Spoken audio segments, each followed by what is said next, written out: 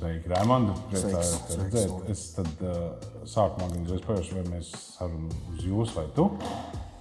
Uz tu, protams. Jā, lai, lai tad arī. Um, un uh, tiešām priecājos, ka tu atradi laiku. nu, jā, tas ir skaidrs. Ir vasara īstenībā. Tas viss vēl daļā atpūšās. Kāda ir bijusi tava vasara? Man vasara bijusi darbīga, un man, man parasti vasara arī vēsturiski vienmēr ir bijis eh, darbs eh, mājās, mūrniekos. Vienmēr tur, eh, kā saka, gan bērnībā, gan arī tagad um, mēs vasaras veltām sakopšanai, iekopšanai. Un, un bērnībā tās bija sienu talkas, un, un faktiski visu to laiku es, cik atceros sev no bērnības, tad vienmēr mēs esam. eh, Es esmu strādājis, jau jau no bērnības braucu ar, ar traktoriem un, un vācām sienu. Un, un tur bija pašam savs tāds uh, traktors, 20 tāds, un man viņš joprojām ir. Un, tad man bija tas uzdevums uh, grābt sienu. Un tad uh, vēlākos gados uh, tad es uh, vedu tos zārdus mājās. Mums bija tāds mehānisms uztaisīts, uh, tāda siena dakša lielā, ar ko es iebraucu zārdā, pacēlu viņu un braucu uh, pie, pie šķūņa un veči, tad, kā saka, lādēju sienu šķūnī.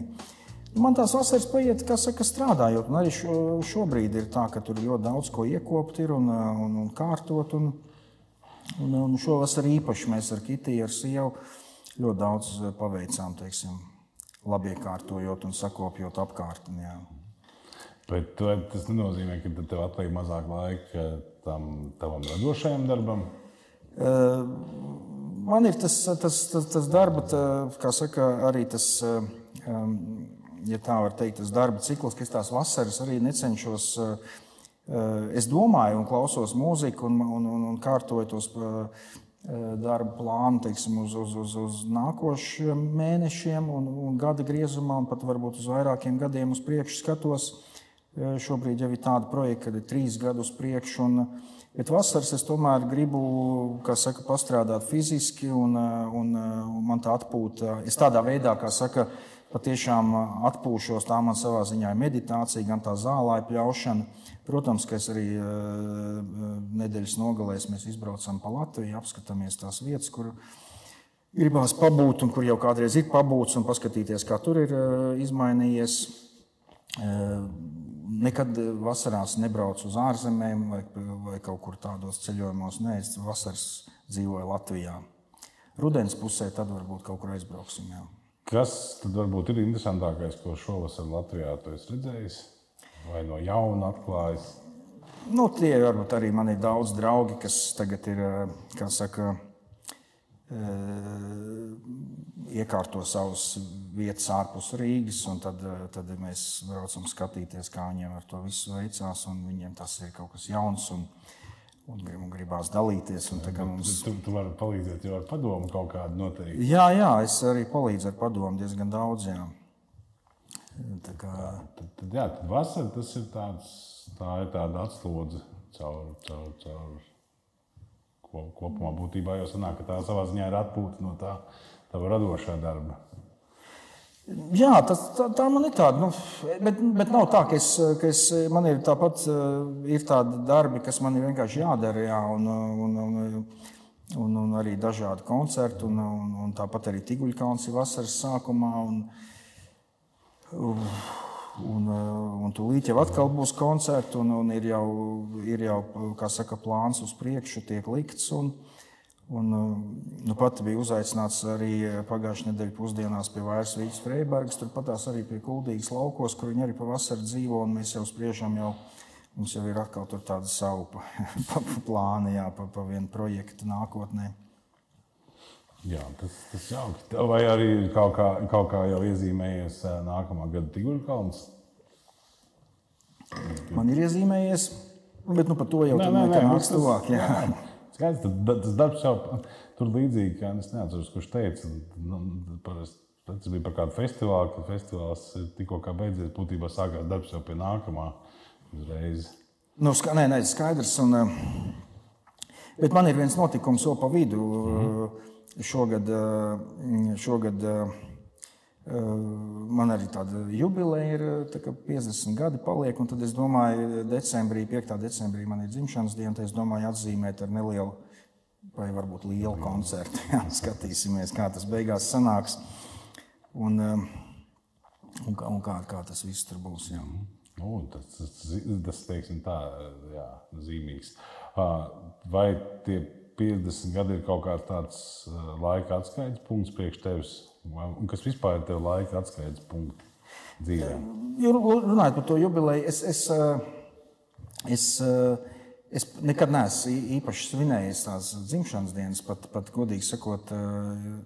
Nu, tagad varbūt pēdējā laikā tur atbrauc ciemos, un tad mēs tur patiesībā pamuzicējam, kaut ko tur pasēžam, bet es tā parasti nekad nesvinēju tās dzimšanas dienas, bet es domāju, nu, tomēr tas, tas gada skaitlis tāds, tad varbūt to, tādu koncertu būtu ļoti labi, ka mēs satiktos ar, ar tiem mūziķiem, ar kuriem es teiksim, visu šo laiku kopā veidoju dažādas muzikālas projekts, un kas man ir kļuvuši jau, teikt, patiesībā par tādiem dzīves draugiem, ar kuriem es tiekos regulāri. Es domāju, nu, tas būtu tiešām ļoti jauki, ja mēs visi varētu satikties un, un kopā teiksim, nospēlēt tos skaņdarbus, ko es arī, arī dzīves laikā, kas ir sarakstījis. Šis jau velk uz lielu koncertu.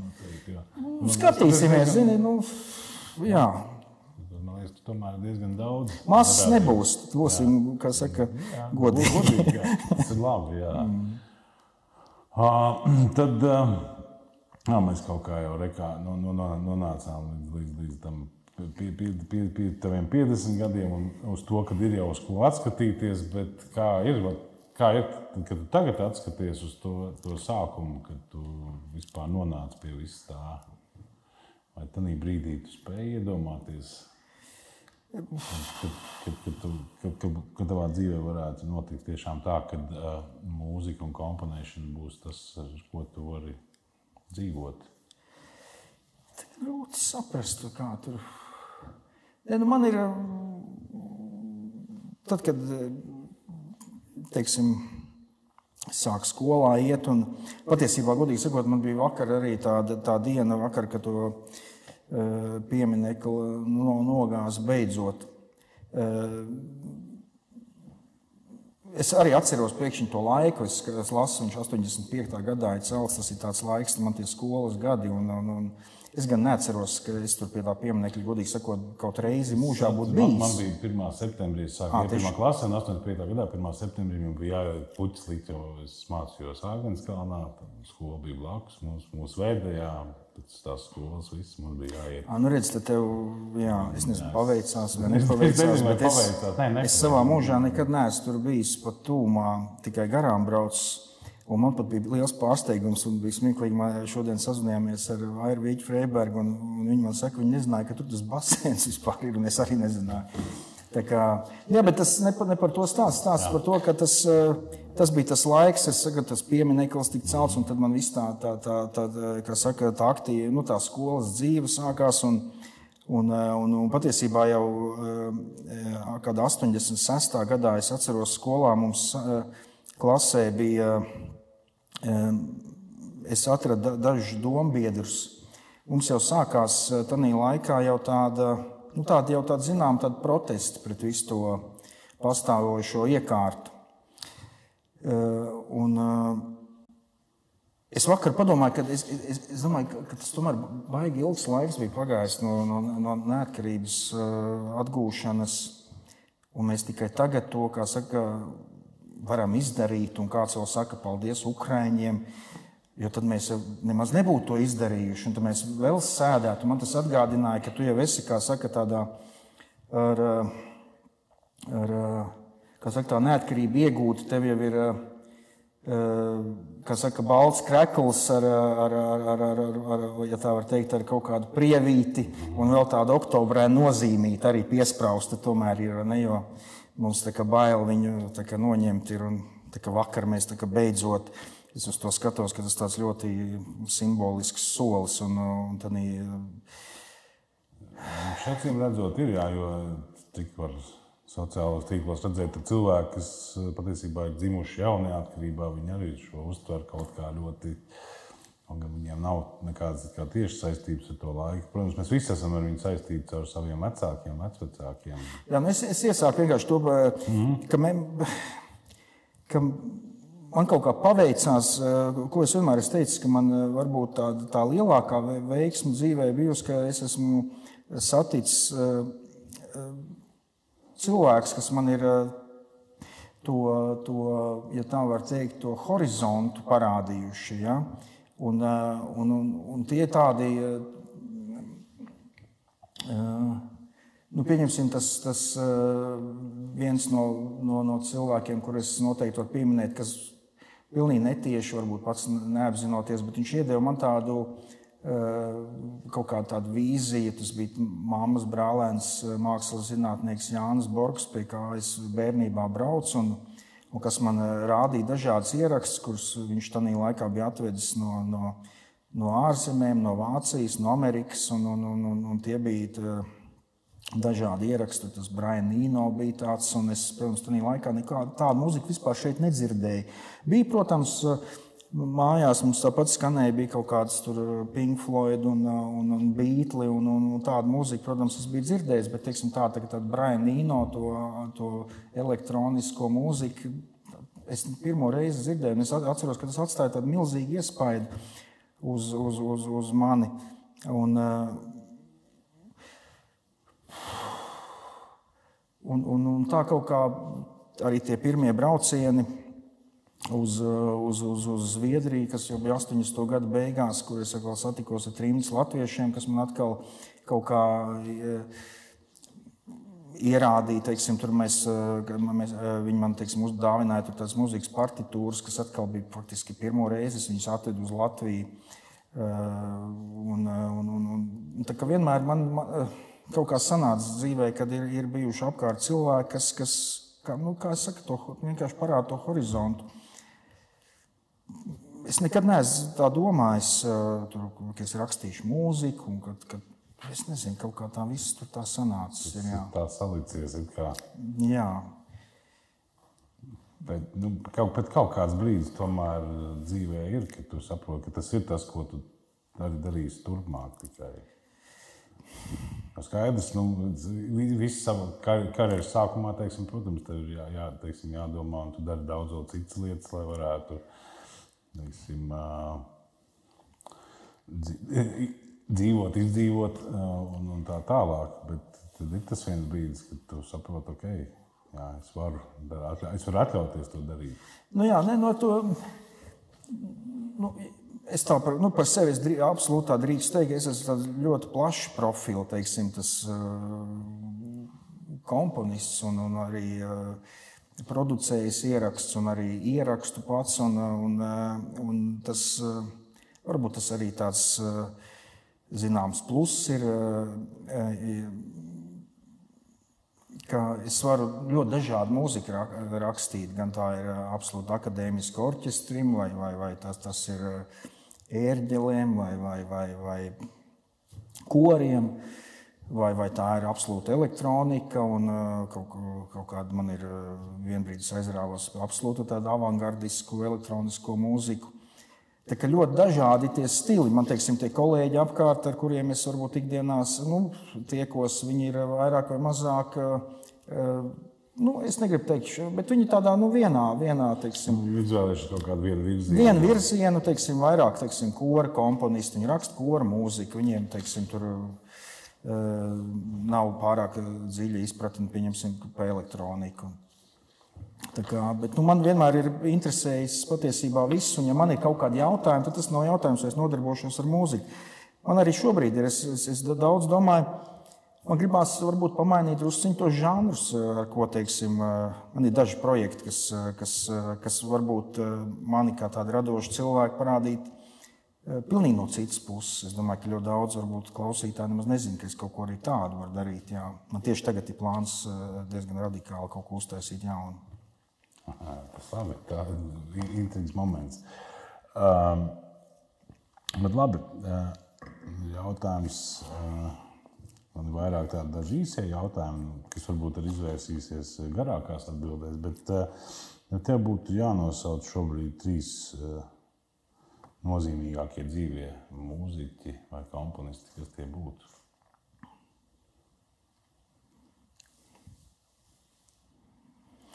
Tas ir, jā, nu, nu nav reāli. Jā. Nu, es tā, tas, Aps, nu es, es varu, varu būt tur pieskarties uh, cilvēkiem, kurus es esmu, kur mūziku es esmu varbūt kaut kādā laika periodā daudz klausījies, bet nav ne, es tik. Es, jā, es negribu, lai tur varbūt liktu viņus kaut kādā secībā vai veidot top, bet teiksim, labi, kas tad varbūt pārformulējot jautājumu trīs, kas ir atstājuši ietekmi uz, uz, uz, tevi, uz, uz to, kā tu raksti mūziku. Nu, tad es varbūt varu, kas man tā ienāk prātā, pieņemsim, komponists, kura, var teikt, ietekmē, klausoties viņa mūzikas skolas gados, tas bija kāds 84. gads. Es patiešām emocionāli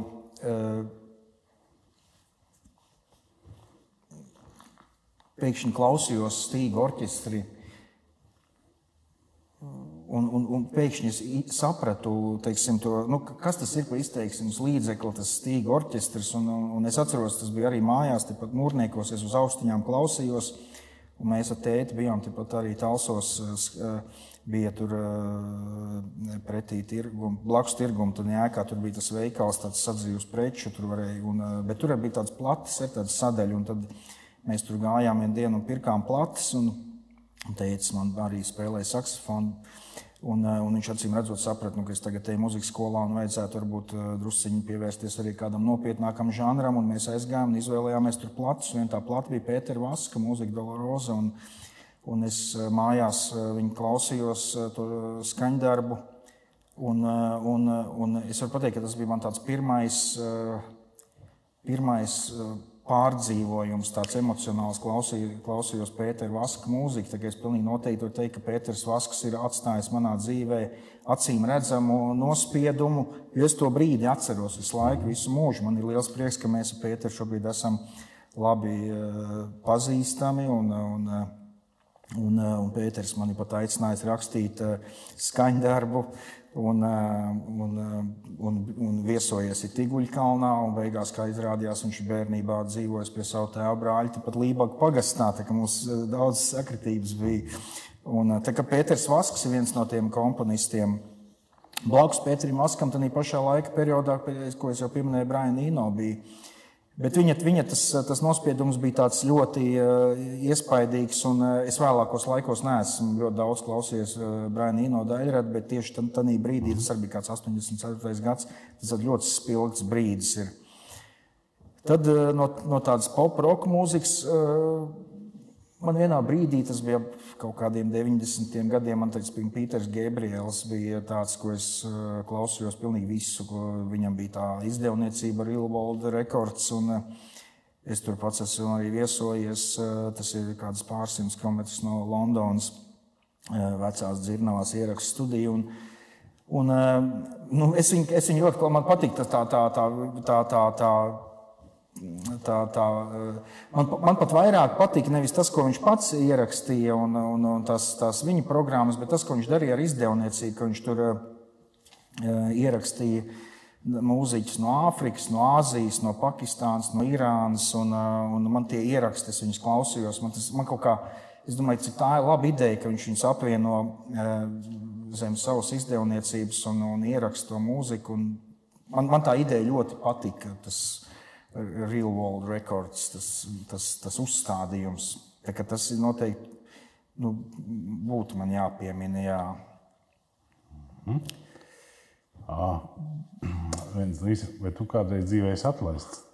At... Atlaists no kāda darba. Nu, redzi, man ir Uldi tā, ka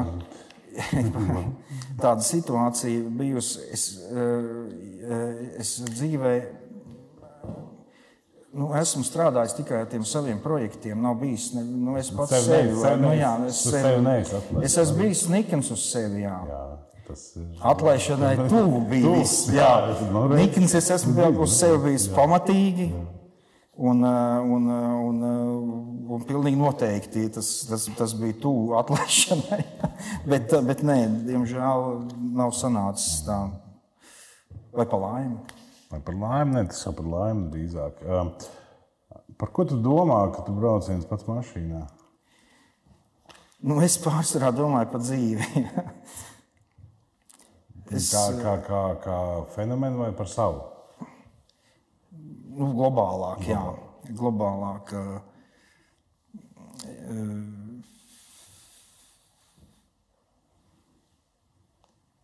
Nu, galīgi nevar saprast, kas tas viss ir. vai ne? Nē, nu, tad tas jau man liekas, ka jā, tas varētu būt viens no neatbildāmiem jautājumiem, patiesībā, kas tas ir.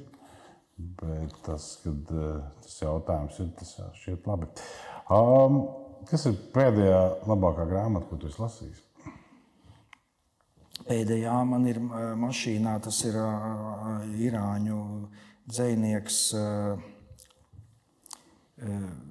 Izkrīt no prāta tagad um, tieši mēs tādu tu, projektu veidojam. uh, Es, es piemirsu. Viņš vienā laikā dzīvoja ar Rumiju, ar, ar Rumiju, bet uh, man tad jāiet paskatīties.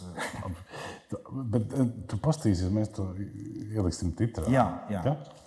Um, labi, uh, tagad mazliet jāklājas. Tu, protams, īstenībā man liekas, ka tieši tu biji tas, kas Lat uz Latviju pirmais atveda Hangu. Ja?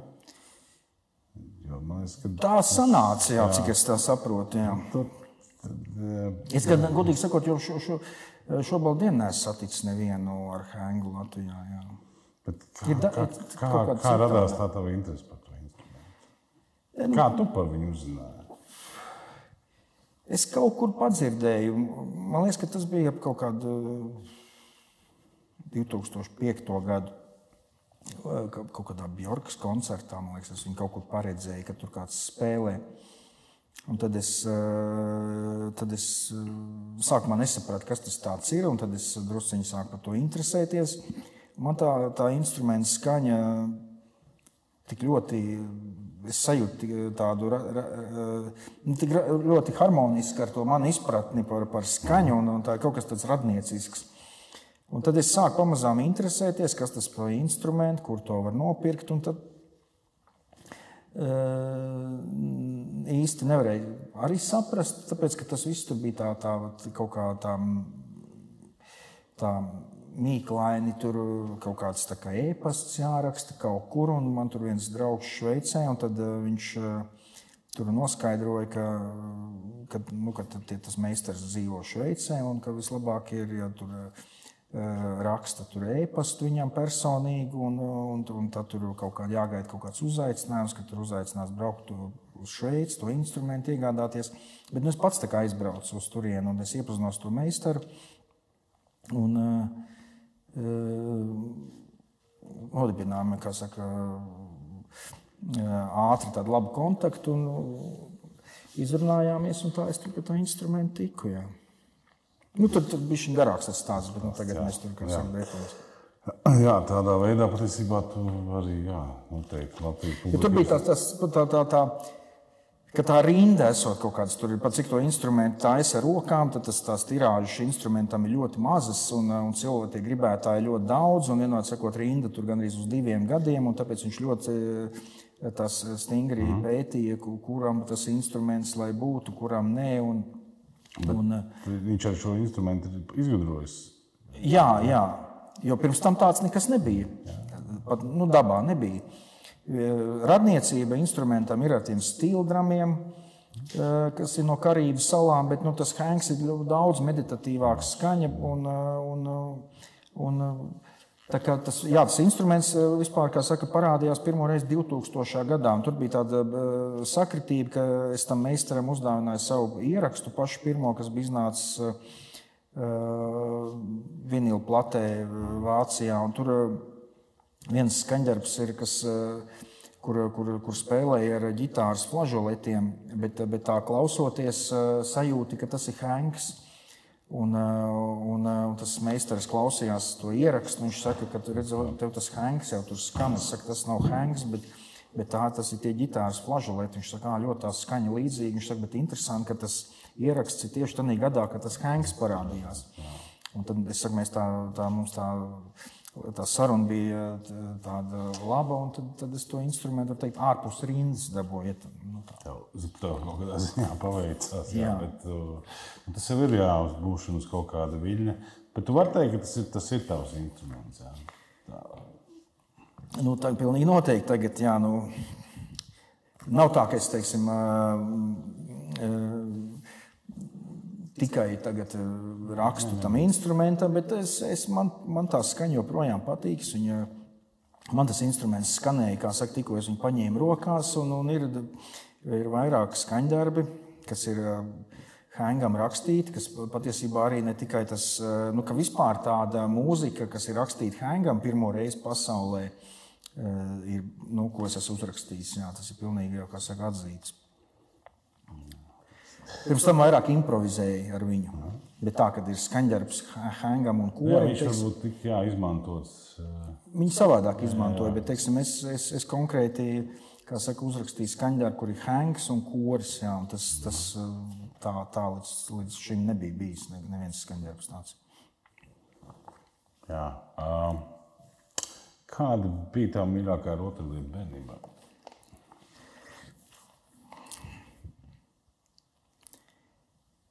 Nu, atkal tur nu, grūti pateikt. Nu, man ir viens tāds, viena vien, vien, vien, vien rotaļlieta, kas man ir saglabājusies līdz, līdz šodienai. Tas ir mans tāds lācis, ko man opaps uzdāvināja, ka man palika viens gads.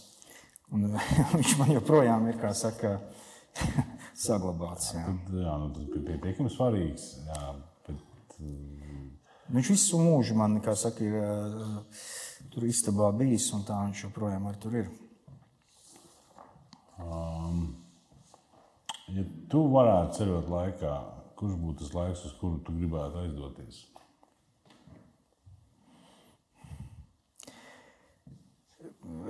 Es esmu kādreiz par to domājis, jā, un tad, tad pirms kaut kāda skolā, kad es mācījos, tad man es vienmēr iztēlojos, eh, ka būtu bijis brīnišķīgi kaut kāds pārsimtus gadus atpakaļ. Uh,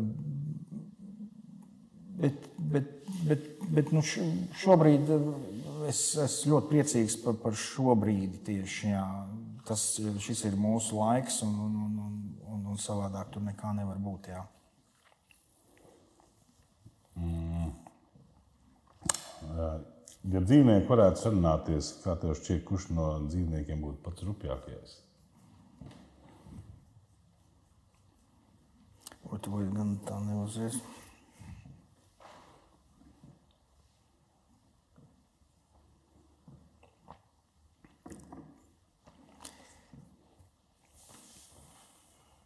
Es tagad ātri pārskatu pār tam, tam dzīvnieku sastāvam. Mm. Man neviens neliekas, ka, kurš varētu būt tāds ļoti rupšs. Kas to lai zina, ko viņi tur savā starpā. Nu jā, bet, bet tā ir pēc, pēc sajūtām, kurš varētu būt.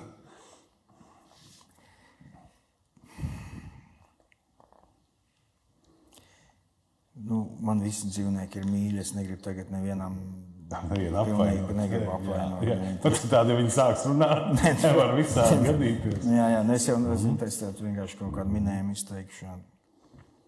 No. Kā tev šķiet, kā uh, skaistuma nesmība ietekmēta cilvēks?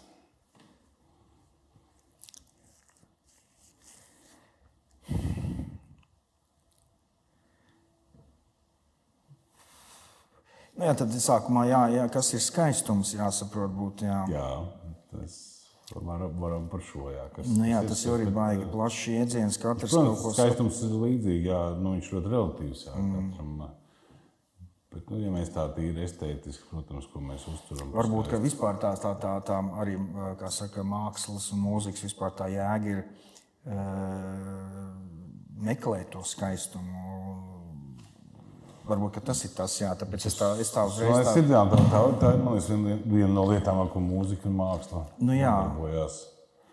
Manā dzīvē tā mūzikas lielākā jēga ir eh, tas, ka es eh, noteikti pateicoties mūzikai, esmu vairāk dom, sācis vienkārši domāt par kaut ko. Es neesmu no tiem, kas, eh, kā saka, varbūt pat tas ir tā skarbi, kas, teikšu, kas, kas meklē mūzikā to skaisto. Eh, Es esmu daudz klausījies eh, tādus teiksim, skaņdarbus, eh, kurus noteikti cits cilvēks nemaz par skaistiem ne tuvu nesaukt, ja, kā nu, avangards un, eh, un, un, un teiksim, tāds absolūti eh, laikmetīgi elektronisks skaņdarbi, kas, nu, kas teiksim, Tur Stockenbergs, pieņemsim, tāds vācu komponists, kurš pirmais sāk izmantot tur, uh, skaņas, apstrādāja ar, ar, ar, ar sintēzēju. Nu, tur ir tas, tas ir tāds, tur, tur, to, to, to, to skaņdarbu, teiksim, tādā vienkāršā izpratnē pa skaistu. Neviens viņu tā kā Bet tas nav saistīts tomēr lūk, ar izpratni un uh, saprast līdzīgi ir ar laikmatīgo mākslu, ka problēma jau nav pašā mākslā, bet uh,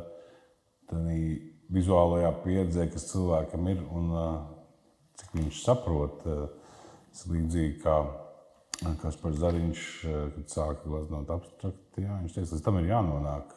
Tu nevari to, tu nevari savu mākslinieku karjeru sākt ar to, ka tagad tu glazno uzreiz abstrakti.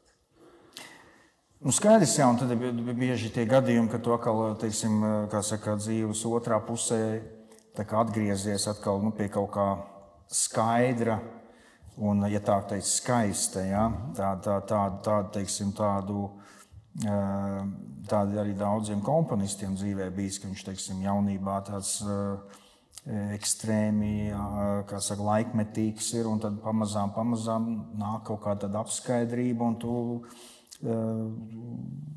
sāci tā var teikt ar eh, tu tādā nosacīta vienkāršībā atrod arī tādu milzīgu, ja tā var teikt, jēgu. Un, un, un patiesībā, es, eh, ja skatos uz nu, teiksim, kā es eh, rakstu, tad, eh, tad tas eh, es vienmēr esmu gribējis eh, tieši ar ļoti vienkāršiem līdzekļiem, eh, ja tā var teikt, panākt maksimālu efektu. Jā. Eh, Tas, ko arhitektūrā saka, tas eh, less is more. Jā. Nu, man, man tas, ir, tas ir tas mans uzstādījums, man tas, man tas, man tas patīk. Un, eh, un eh, man ar to patīk, kā saka, eh, ja tā var teikt, spēlēties. Un, ja es sajūtu, ka tas, tas efekts ir, tad man, man tiešām ir nu, bijuši vairākas reizes, ka es jūtu tādu, tādu lielu gandarījumu, kad, kad ar tādiem vienkāršiem līdzekļiem tu panāc tādu, tādu kaut kādu nu, tādu netveramu, tādas kaut kādu lielu tādu spēku, jā, ko tu nevari izskaidrot, kā tas var tā sanākt. Minimāls, bet tas, tos, tas ir arī izaicinoši, tas ir daudz sarežģītāk. Tas ir sarežģīti, jā, jā tā, par, par to stāsts ir. Jā, tas ir, tas ir sarežģīts, jo tur nav, tur nav, tur nav, tur nav aiz kā aizslēpties. Tur, saprot, tur nekā lieka nav. Un, un, un tur ir vai nu ir, vai nav. Jā, nu tas, tas, tas, tas, nav, tas nav vienkārši. Jā. Un tur, nav, tur, tur, tur neko nevar izskaidrot. Eh, Kāpēc viņš pēkšņi kaut kas tāds tur saslēdzies? Ir pilnīgi parasts, ikdienišķs. Un pēkšņi vienkārši kaut kas tur notiek, eh, ja tā ir liels un skaists. Jā. Tas ir, tas ir mans lielais izaicinājums vienmēr. Jā, tas, tas, arī, arī šobrīd tas ir joprojām tavs izaicinājums. Tas, tas ir visu laiku, jā, tas ir visu laiku jā, bijis tā. Um, ja, ja tu nebūtu aizgājis šo mūzikas ceļu, kas, kas tu būtu? Kā tev šķiet? Kas būtu tas, ko tu darītu? Nu, es, man tas ir pilnīgi arī skaidrs. es, es, es pilnīgi godīgi pateikšu. Es, es tiešām taisīju saldējumu. Jā. Jā, tas man būtu. Oh, saldējumu. Jā. Tas, jā. Jo, jo, kāpēc nākamais jautājums ir tāds, ka, kā tev šķiet, kas ir viss sarežģītākais darbs, kādu tu vispār vari iedomāties, ko cilvēks dara? Nu, kas liekas, šito es nevarētu. Tas ir tik sarežģīti. Nē, nu, labi, saldējumu uztaisīt arī nav vienkārši. Tas nav noteikti vienkārši. Tu, tu tur pieredzi. man. Tie, tad, es domāju, tur, Tur ir pieredze, baigi. tur Jā, jā, jā. tur ir gadiem jāarī. Jā, protams, jo tur arī tur ir salīdzinoši vienkārši. Nu, pamatā it kā jau jā. It kā vienkārši. It kā. Bet, eh, bet, eh, bet, lai panāktu tādu labu rezultātu, ne, es godīgi, es bez ironijas saku, mm -hmm. tur, ir, tur, ir, eh, tur ir baigi jācenšas, nu, jāmāk. Jā, tad jautājums, vai Latvijā ir labs saldējums, vai Latvijā kāds ražo labu saldējumu? Es esmu, es, eh, Noteikti es zinu, ka ir. Es, es, es, nu, es, es, es, es, varētu, es negribu tagad varbūt speciāli atkal saukt, kas viņu ražo un ko, bet, nu, Bet ir. Bet ir. ir. ir eh, es viņu nevaru nopirkt Rīgā. Es neesmu redzējis, bet ir skaļi veikalos un, mm. un, un Latvijā ražots. un Tas, ir, tas tiešām ir labs saldējums. Jā. Kur ir labākais saldējums vispār? Kur, kur tu esi? Kur es esmu vispār? Kur tu teiktu, jā, tā, tas Lai cik tas jocīgi nebūtu Ņujorkā, jā, tur ir tas um, um, aizsākums tai kompānijai, tam Hāgendāzes. Un, uh, un, un tur ir Brooklynā pat vēl saglabājies tas pirmais veikaliņš, kas pēc otrā pasaules kara tur, kur, tie, tur, kur tā ģimene sāk to, to saldējumu taisīt. Un, un tas nosaukums, tas Hāgendāzes, ir cēlies. Tā ir ebreju ģimene, kas uh, slēpās uh, kā saka, Dānijā. Tā dāņu ģimene viņus izglāba, nu, slēpa.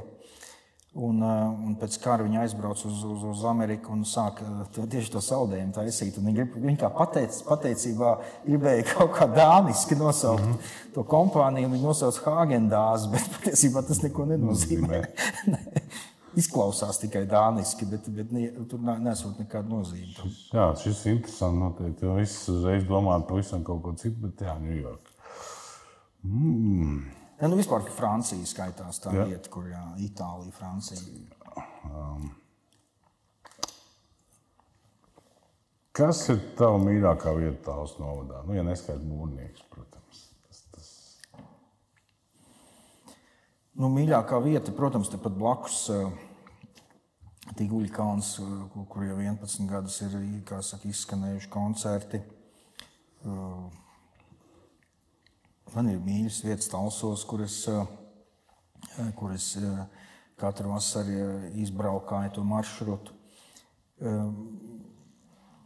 Jo, ja, es nezinu, es varu izstāstīt, ka tad, kad eh, 96. gadā man teica aizgāja, tad, tad mēs ar māmu turpinājām saimniecību. un Man jau, es te pienu vadīju divus gadus ar mašīnā, žiguli. Un, un man te bija tādas savu, tādas, nu, kā saka, savs maršruts. Katru dienu es braucu un cilvēka burciņām nāca, nāca nu, pirkt pienu. Jā. Tā bija tā, nu, 90. gados tas bija normāli, ka, ka izvadīja to pienu jā, pa tiem pagalmiem. Tur man arī tur netālu, kur tu tagad dzīvo, tur es arī piestāju. Un, eh, un toreiz man bija tāda, tāda, bišķiņa, tāda atlaista, tāda pagara mati. jo es jau, es jau, kā saka, mūzikas akadēmijā mācījos. Kompozīcija. un es ar to pienu braukāju. Nu, jā. Un, Un, jā, eh, redz, kur ir viena lieta, ko tu darīji. Jā, Nu, jā, jā, bet es jau nu, kā, es paralēli arī braucu ar, ar, ar, traktoriem un sēju, kā saka, viešus un miežus un, un stādījām kartupeļus un vācu sienu. Tas ir pēc tēta vēl, vēl kāds vairākus gadus.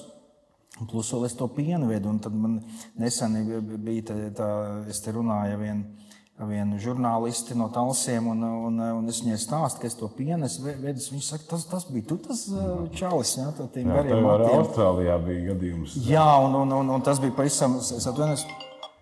Es, un, jā, tas bija Austrālijā, kur, kur mēs sagaidījām jauno gadu Sidnejā. Un, un mēs uh, gājām uz uh, Sidnejas operas izrādi, slavenajā Sidnejas operas namā. Un, uz kāpnēm vienkārši man pienāca meitene klāt, un viņa saka, ka viņa bērnībā, kā saka, braukus pie mums pienu pirkt. Jā. Es teicu, iedomājieties, Jā, ir Sidnejā. Sidnejā, jā. Nevis tavu mūri, bet pieni. Jā, bet pienu. Jā, nu redz. Un Sidnejā pie operas nama.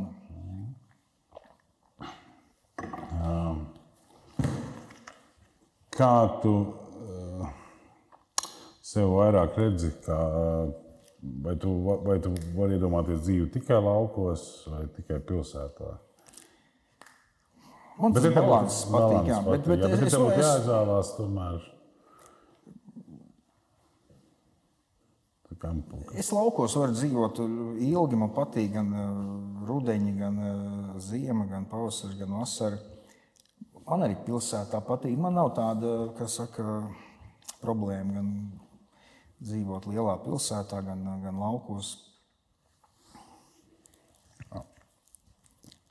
Kā tev šķiet, kas ir trīs lietas, bez kurām nu, nav iespējams izdzīvot? Nu, mūsdienās trīs lietas, bez kurām vairs nav iedomājami dzīvot. Tas izdzīvošanas jautājums ir. uh,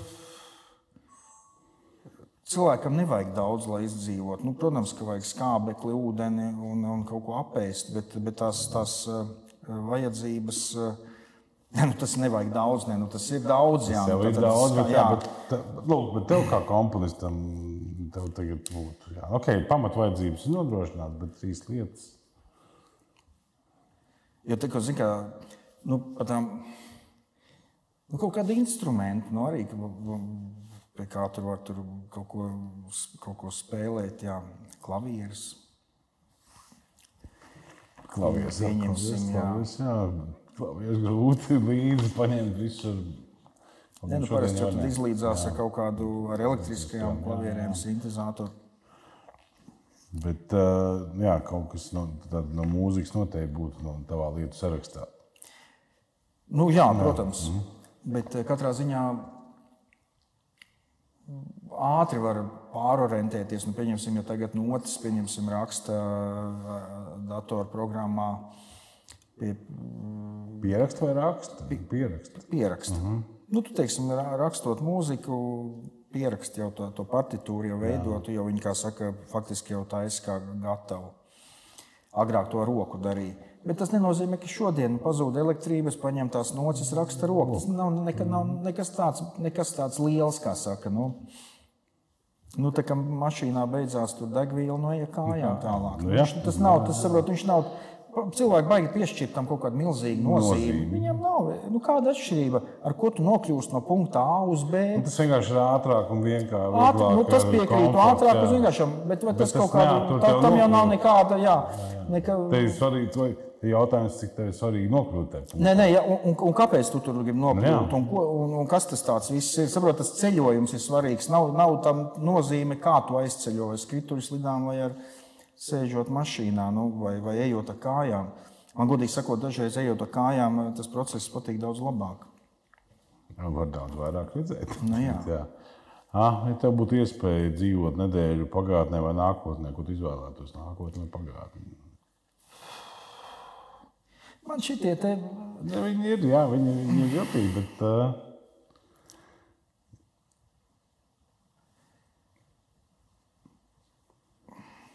Man te vienā skaņdarbā ir eh, tur gar angliski, eh, ka tur nākotnē pār to pagātnē. Ja tie laiki, viņi saprot, Jā, viņi, tas protams, jā, jēdziens viņš eh, nav saprotams. Un, eh, nu, nav īsti jēga par to runāt, eh, jo eh,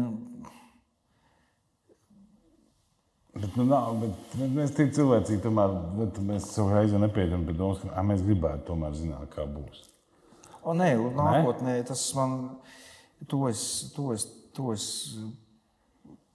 to es tā negribētu kaut kādā priekšlaicīgi tā kā apskatīties, ja palūrēt, kas tur tagad būs pēc 10, 20 gadiem. Un savukārt atpakaļ atgriezties arī tad īsti tur tā kā.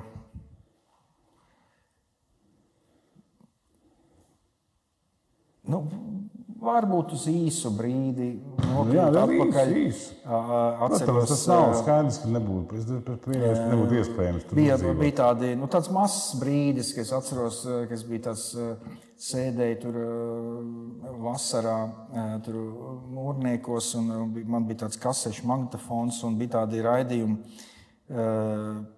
Koncerts pusdienas pār- pārtraukumā. Es nezinu, vai tu atceries tādas, bet bija, bija tādi no pulkstenes vieniem līdz diviem vai no 12 līdz vienam. Neatceros precīzi, kad. Bet bija tie raidījumi, un, un, un tad vienu, vienu reizi tas raidījums bija tur Maikla Džeksona jaunākā albuma spēlēs.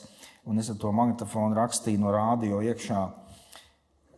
Nu, nu, sakot, kas tas bija par kaifu klausīties to Maiklu Džeksonu. Es, es ierakstīju to, to radio pārēdu, un tam to kaseti klausījos. Nu, nu, baigi man patīk, bija tāds saulains, saulaina pēcpusdiena un tāds, tād, tad pārņem tādu pilnīgu laimi. tas vairāk reizes tiešām nedomāju, tad nonākt un palikt tur, bet mums ir tie brīži, kurus kur, kur... nu, ir tādi, jā. Tad, jā, man ir pilnīgi nesaistīti. Ir bijuši tādi, es atceros, mācījos mūzikas vidusskolā. Un pilnīgi parasta diena, un es kaut kur tur vienkārši gāju mājās un, un, un, un, un pārņēmu tādu absolūtu tādu laimes sajūtu. Nu, tādos pilnīgi nesaprotami, it kā nebija nekāda tāda, tāda, tāda diža iemesla pēkšņi sajusties laimīgam, bet, bet bija tāda. Es, bet es, es domāju, ka tā sajūta ir. Nu, var, pat, tad varbūt tāda pat svēta laime tas viss ir. Un, nu, tādā brīdī varbūt es tā kā. Varbūt, labprāt atgrieztos. Jā. Vai tu kopumā, kaut gan, protams, jā, jēdziens laime. Es varu atkal uh, dažādas tur skatīties, bet vai tu kopumā esi laimīgs cilvēks? Kopumā es esmu. Uh,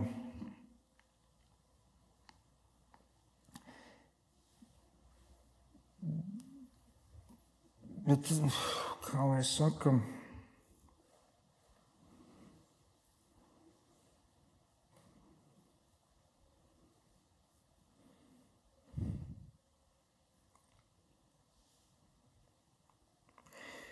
Nu, nav jēgas savādāk. Nu, saproti? Pilnīgi laime nevar būt, ja nebūtu vairs uz ko tiekties. Nu. Nē. Ziedonis jau teica, jā, jā viss no mazām laimēm, no jau liela. Jā, jā. Bet Nav īsti, nu, kā saka, nu, tādu staigā ne, nelaimīgs, nesaprasts. Nu, nu, un... Tas tāds attieksmes, pašam pret sevi, pret pārējiem, bet Nu, bet ir pietiekami daudz cilvēku, liekas, kas saka, jā, es tur, mēs tur esam nelaimīgi, un, un, vai, vai es esmu nelaimīgs. Un tad rodas tas jautājums, jā, kas ir. Mēs cilvēki jau ir nevis nelaimīgi, viņiem trūkst kaut kas vienkārši. Viņam šķiet, vai tā šķietamība, ka, visiem ja man būs tas, tad es būšu laimīgs. Mums visiem, visiem trūkst. Absolūti visiem kaut kas trūkst, nepārtraukti kaut kas trūkst. Es, protams, man ir bijuši ļoti daudz eh, saka, dziļi pārdomu brīži dzīvē, ka kaut kas ļoti trūkst. Un, eh, bet tāpat laikā es.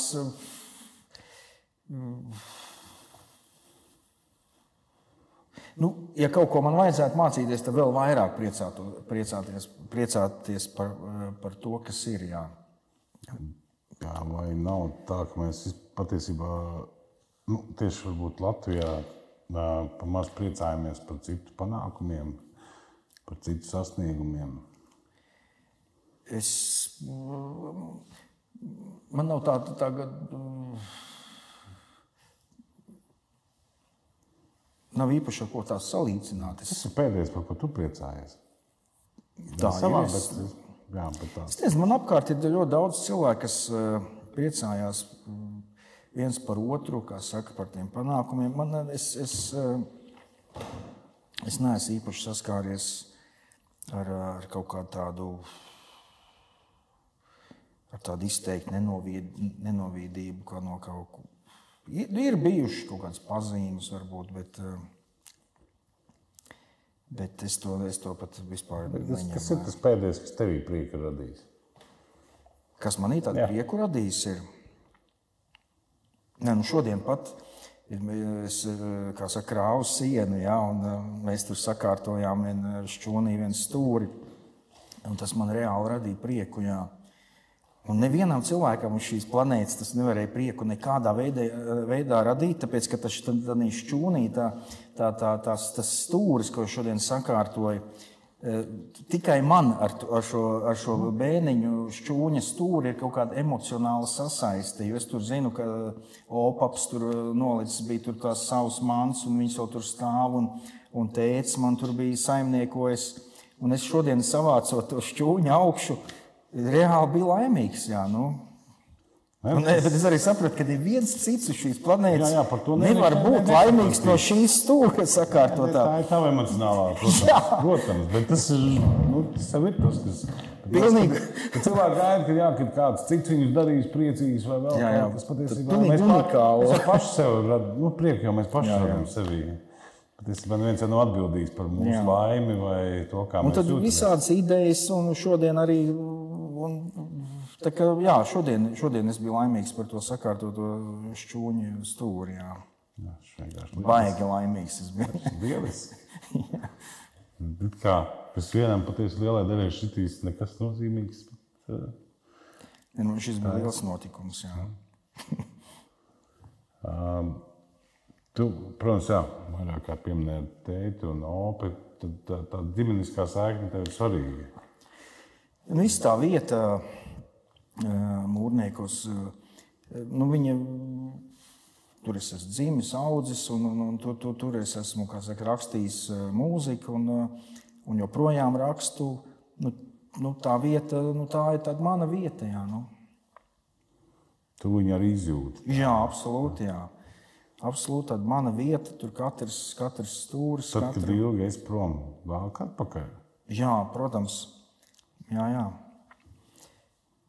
Nu, tur jau es arī uh, daudz arī, uh, rakstu un, uh, un, un, un, un darbojos. Un, un, jā, jā, nu, tā ir tāda mana vieta. Jā, tur, es, tur, es, tur es dzīvoju. Lieliski. Tas ir cilvēkam arī zināt savu vietu, ir lieliski. Es, jā, Nu, jā, tur, tur, saku, tur ļoti daudz, ir, daudz ko darīt, ir, bet man ir tur saka, plāni, un, un gan jau mēs tur kādreiz arī saka, tiksimies. um, tad lēnām, jā, tuvojoties patiesībā izskaņai. Um, pajautāšu vēl. Uh, Kas ir vissmieklīgākais fakts par tevi, ko tu pats zini? Kas, kas tev nu, jā, kas liek, varbūt pasmaidīt, atceroties?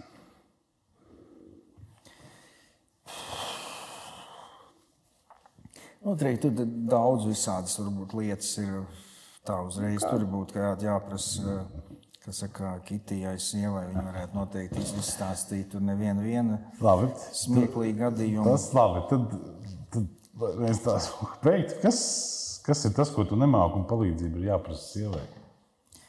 Arī tik,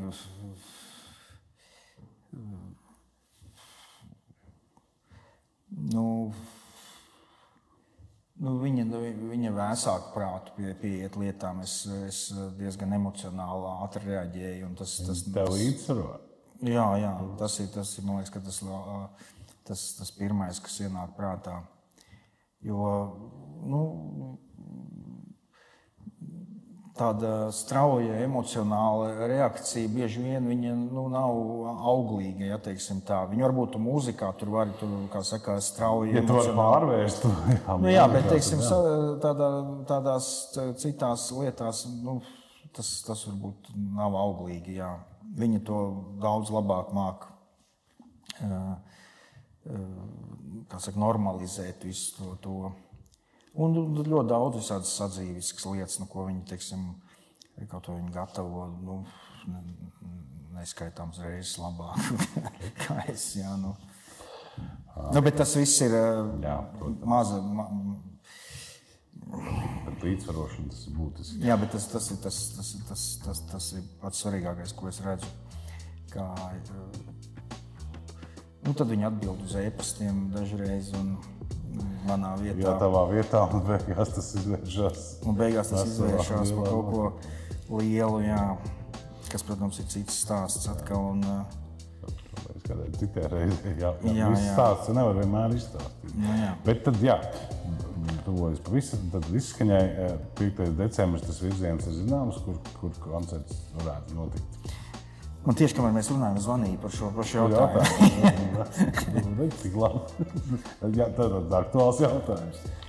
Nē, pirmkārt, tas datums ir 3. No dzimšanas diena, 5. decembrī. Tā ir pirmdiena koncerta. Mēs organizējam 3. decembrī, kas ir sestdiena. Tas koncerts ir paredzēts Vēnspilī koncerta zālē. Jo, kā saka, ar, manu skaņdarbi, ar, ar maniem skaņdarbiem tā, tā, tā vieta tika atklāta.